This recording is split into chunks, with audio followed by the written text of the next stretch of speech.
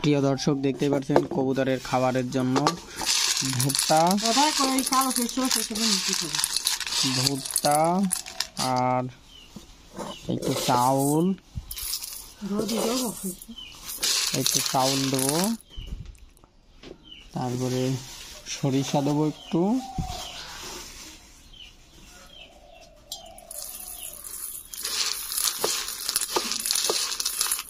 মানে মিক্সড খাবার দিলে এই যে বাচ্চা তুলেছে এই সময় মানে সুবিধা হবে।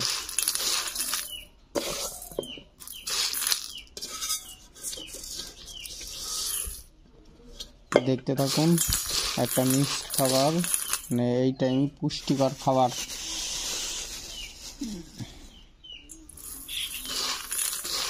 এখানে দুই রকমের সরষে আছে আর চাউল আছে, গম আছে।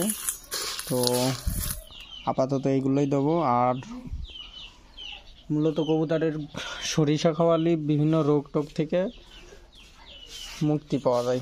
তো এখন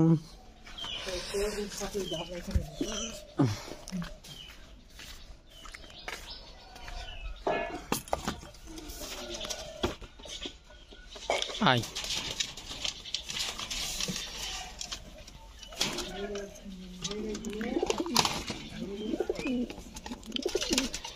তো এই হচ্ছে খাবার রেডি করে নিয়ে আসলাম, আর এই খাবারটা দেওয়া ছিল।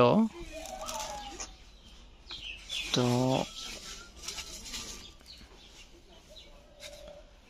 এখন আমার কাজ হবে এখান থেকে মিক্সড খাবারগুলো এইটাই দেয়া। আর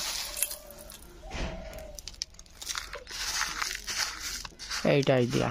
তো এখন আমি এখানে খাবার মিক্সড করে দিচ্ছি। আর এখানেও কিছু